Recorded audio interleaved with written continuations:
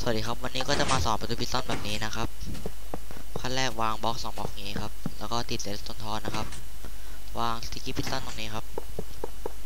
สามบล็อกตรงนี้นะครับ ตรงนี้เป็นที่ piston วางนะครับ แล้วก็ piston จากนั้น redstone ตรงนี้ครับ เป็นสองช่องครับมาจากนี้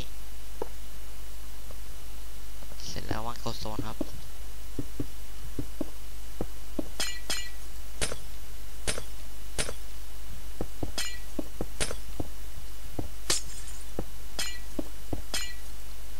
แล้ว ก็อย่างนี้ครับ